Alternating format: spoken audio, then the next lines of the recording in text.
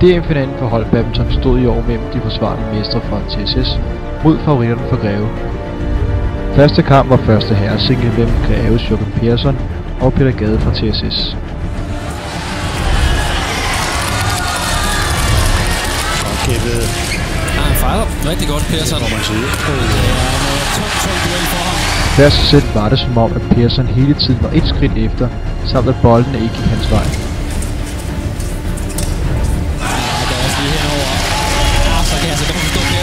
Stiller sig med, med armene i siden. Åh, det er flot.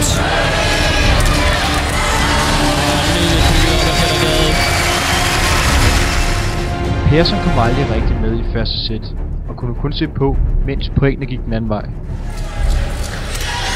Og der bliver det så der komfortabel, meget, meget sikker sejr første sæt til Peter Gade 21-8. Der er noget tale om for øh, Persson med Jens Christian Pearson er ude med at komme bagud 9-4 i andet, men fik kæmpet sig op igen til stillingen 9-11.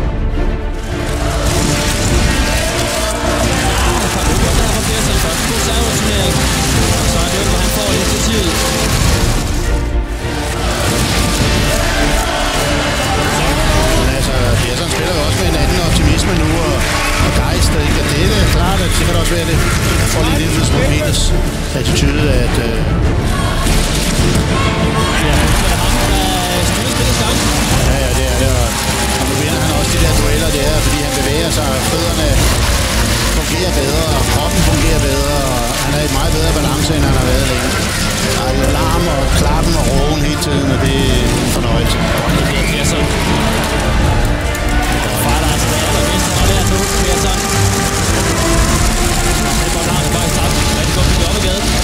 Jo, men det er jo også det, det, er også det der sker her. Selvom Persson fejlede alt, hvad han kunne, var det Gade, der løb med sejren.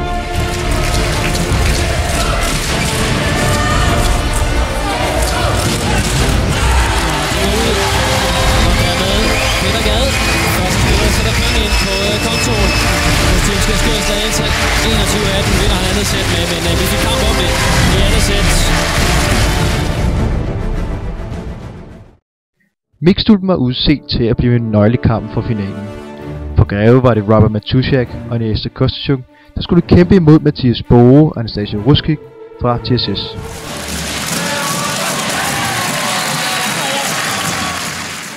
Kampen startede meget lige, men hvis kom længere hen, kunne det tydeligt ses, hvem der pt. er Europas anden bedste mix. Altså meget godt styr på det. Matusiak og Kosicek.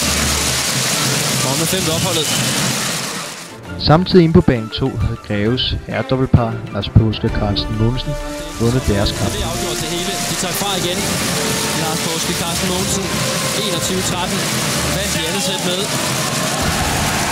Og så er det deres tur til at kalde ud i den anden ende af handen modsat, der var Peter Gade blev tiljublet for øh, lidt tid siden.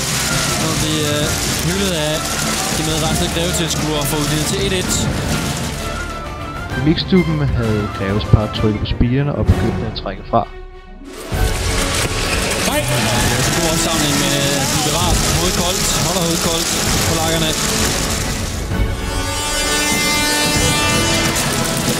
Første sæt i hvert fald til polakkerne med 21-13. Greveparet fortsatte i samme tempo, som de slap første sæt i. Der var ikke meget TSS kunne gøre imod dem.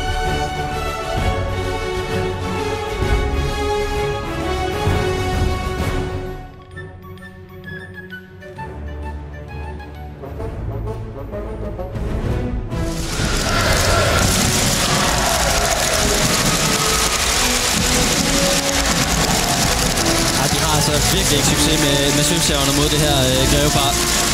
I er blevet straffet for den stort set hver eneste gang. Så kunne godt være, at man skulle lade være med at serve den. Og det her, det er jo lige præcis Matusiak, når han er der bedst. Og nu spiller vi to gange badminton, og så, så, så er der ikke noget at spille om.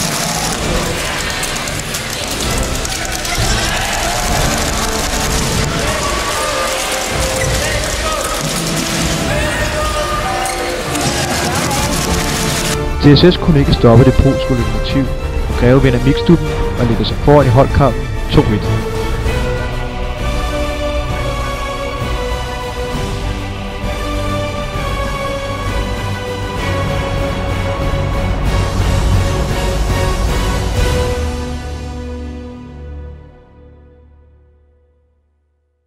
Den sidste kamp på bane 1 var anden herresingle mellem Kenneth Jonasen fra Greve og Hans Christian Wissing Hus fra TSS.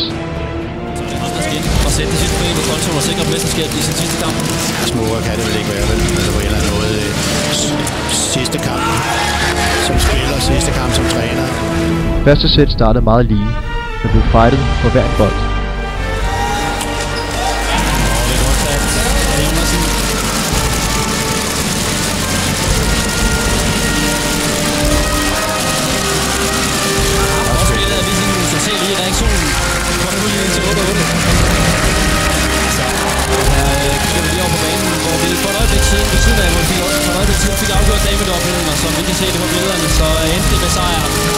Til Camilla Rodrigo og Christina Petersen. Efter Greves favoritdame double har klaret opgaven, var nu blevet en realitet, at Kenneth Jonasen kunne med en sejr lukke og slå et guldkart.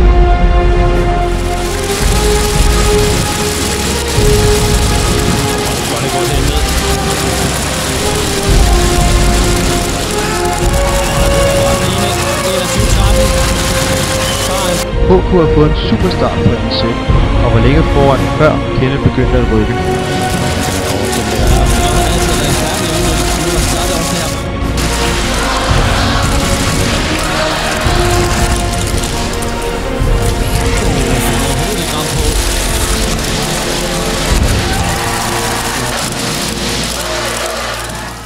Selvom Kenneth havde bragt sig foran 20-15 og havde fem matchbolde, var kampen ikke helt over endnu.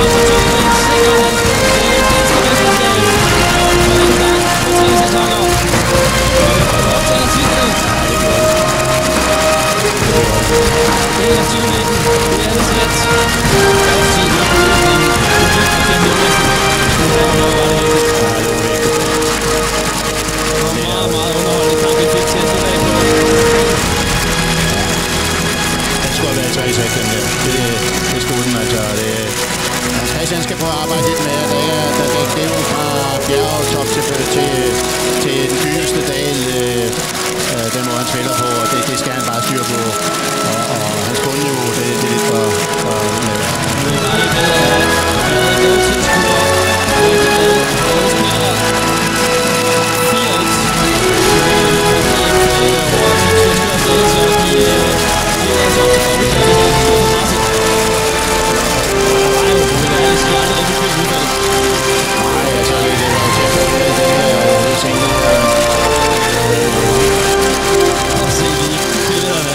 Af Ah, det er en fornøjelse. Er det det, man kalder vindervilje? Og det viser jo så også lidt for mig, at det betyder.